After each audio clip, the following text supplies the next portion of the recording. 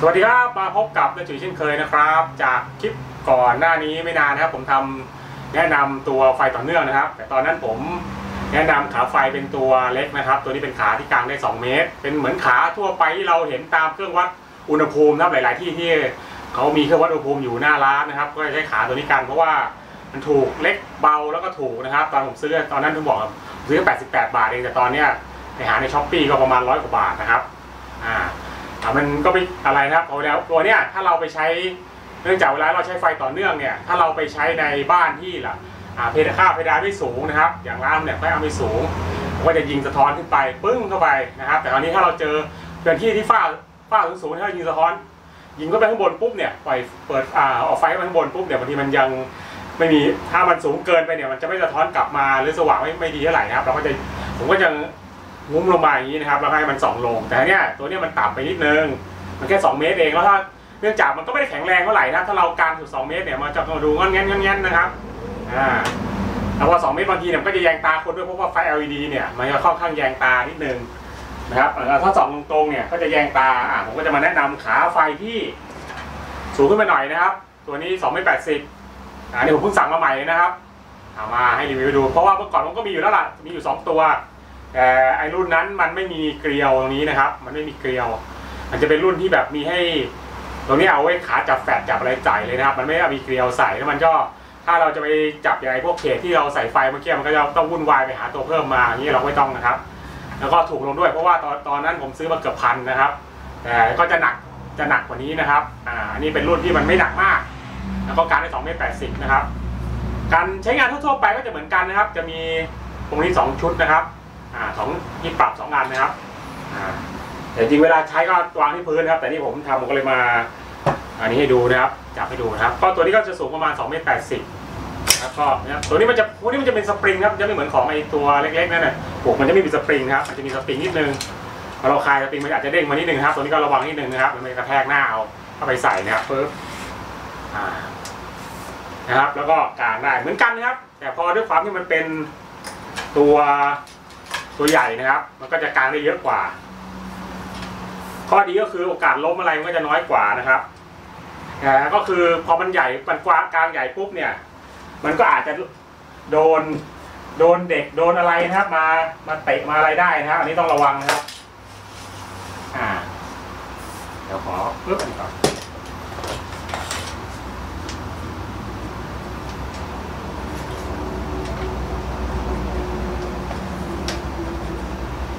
อ่านะครับเห็นไหมครับขามัน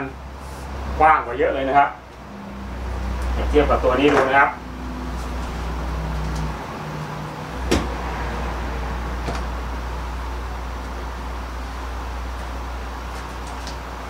อ่านะครับเห็นไหมครับกว้างกันเยอะเลย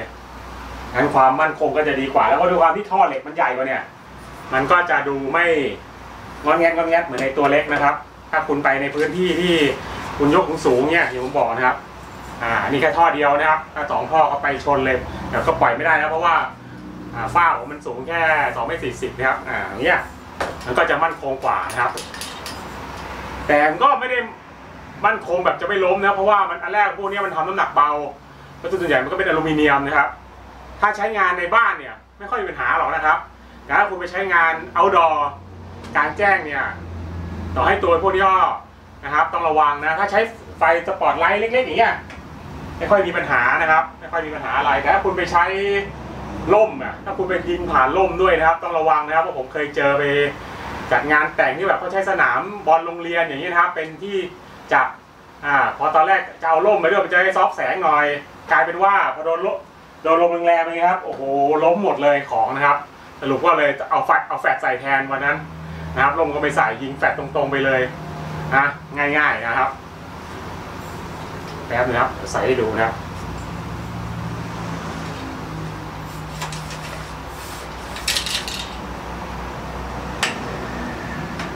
อันนี้ก็ตั้งได้นะครับไฟสปอตไลท์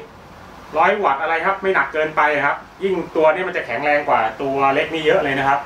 แข็งแรงกว่าเยอะเลยงั้นมันก็จะใส่ได้อ่าไฟหนักๆก็ไม่มีปัญหานะครับศูนย์ถ่วงอยู่ตรงกลางด้วยนะครับ โอกาสล้มจริงๆ ถ้าไม่มีใครมาเตะนะครับ ไม่มีใครมาเตะนะ อ่าอย่างที่ผมบอกว่าคือมันกางตัวเนี้ยกางได้เยอะจริง แต่โอกาสพลาดให้คนมาเตะก็มีนะครับ ต้องระวังตรงนี้ด้วย เพราะว่าพื้นที่ที่จำกัดอย่างบ้านบ้านคนทั่วไปเนี่ยบางทีมันแคบนะครับเวลาไปรับงานแล้วไปถ่ายเนี่ยจะลำบากแต่นอกจากบ้านเราเองบางคนเนี่ยเอาบ้านเป็นสตูถ่ายภาพเล็กๆถ่ายภาพส่งสต็อกนะครับอ่าไอ้พวกเนี้ยเรามีพื้นที่เราก็รู้อยู่แล้วล่ะเราก็คงไม่เดินเนินเตะหรอกนะครับ ก็ใช้ได้นะครับเราใส่ปุ๊บเนี่ยถ้าผมกางสูงปุ๊บนะผมก็จะสามารถอ่า เอาตัวนี้ยิงลงมาได้นะครับเอาไฟเนี่ยส่องลงมาข้างล่างได้ มันก็จะสะดวกขึ้นนะครับอ่าก็ลองไปหาซื้อดูได้นะครับ ไม่แพงครับ 350 ตัวนี้ผมซื้อมา 350 จาก Shopee นะครับอ่า Shopee ก็มีค่าส่งนะแต่มันมีคูปองส่งฟรีก็ใช้คูปองส่งฟรีก็ไม่ได้เสียค่าส่งแล้วร้านก็ส่งเร็วนะประมาณ 2 วันก็ได้ของแล้วนะครับ พวกนี้ข้อควรระวังก็ที่เคยใช้มานะครับ พวกนี้ข้อต่อพวกนี้มันเป็นพลาสติกนะครับมันถูกจริงแต่มันก็เป็นพลาสติกนะ เวลาใช้ก็อย่าไปบีบบิดบิดมันแน่นเกินไปแบบบิดอืดอัดอยู่นั่นเลยครับ แตกได้นะครับอ่าแตกได้ผมก็เคยเจอมาแล้วคนนี้ไม่ได้บิดแรงอะไรนะครับ ก็แตกแต่ก็ผมก็เอาเข้าตาช้างมาแปะก็ใช้ได้นะครับใช้ได้ตัวอ่าเพราะว่าตัวอย่าไปแปะจอดที่ตัวเกียวนะครับเดี๋ยวอ่าที่เฮาซิ่งตัวพลาสติกมันนะครับก็ใช้ได้นะครับแล้วก็ระวังนะครับขาเวลาไปกลางใช้งานจริงเนี่ย ระวังโดนเตะนะครับอ่าโดนโดนเด็กโดน ผู้ใหญ่โดนอะไรเดินมาเตะนะครับ เพราะว่ามันกว้างมันการได้กว้างจริง แต่มันก็จะเสี่ยงจะโดนเตะได้นะครับ แล้วก็แต่ตรงนี้มันมันจะยิงแล้วแต่รุ่นนะครับ บางรุ่นก็ยิงเกลียวยิงรีเวทดูดีๆนะครับ ผมเคยเจอนะบางทีมันยิงรีเวทมาอีท่าไหนก็ไม่รู้ไม่แน่นนะครับ แต่แค่เหมือนกันครับเกาเการ้อนหยอดเอาเลยนะครับ เพราะว่าผมคงไม่ถอดมันอยู่แล้วนะครับก็แล้วก็เวลาใช้ก็อย่าลืมล็อกให้แน่นนะครับ ล็อกเวลาเก็บก็เก็บไปเรียบร้อยนะครับ อ่า ส่วนข้อเสียอย่างหนึ่งของมันก็คือ พวกเนี้ยมันเวลามามันไม่มีกระเป๋าให้นะครับ มันก็จะเป็นกล่องกล่องกระดาษธรรมดาอย่างนี้นะครับกล่องกระดาษถุงพลาสติกแต่ก็เราก็เก็บไว้นะครับ ใส่ไว้แล้วเดินไปออกงานหายนะครับ ก็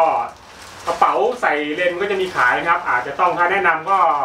ถ้าคนอยู่กับที่ครับ วางอยู่แล้วก็อย่างในบ้านในอะไรไม่ได้ใช้ก็ไม่เป็นไร ไม่ต้องไปซื้อกระเป๋านะครับ วางอยู่คุณทำคุณทำสตูดิโอเล็กๆคุณไม่ต้องใช้นะครับ แต่ถ้าคุณ เดินทางนะครับก็แนะนำมาให้ไปซื้อกระเป๋าใส่พวกขาตั้งด้วยนะครับ มันจะได้ยกไปยกมาได้สะดวกหน่อยนะครับอ่า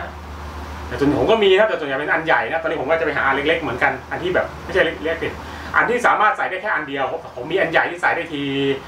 อ่าสามสี่อันนะครับผมใช้หลายอันแต่บางทีอะบางงานที่ผมแบบใช้แค่ตัวเดียวนะครับมันก็กลายว่ากระเป๋าก็ใหญ่เกินเกะกะนะครับอ่าก็ลองไปหาดูได้นะครับ ถ้าใครได้ราคาถูกๆอันนี้ แล้วคุยคุณภาพดีๆก็เรามาแนะนำกันได้นะครับอ่าสำหรับคลิปนี้ผมก็วงลาไปที่นี้เท่าก็ฝากกดไลค์กดแชร์กดติดตามช่องนักจุ๋ยโฟโต้ใน YouTube Channel นะแฟนเพจนักจุ๋ยโฟโต้ด้วยนะครับผมสวัสดีครับ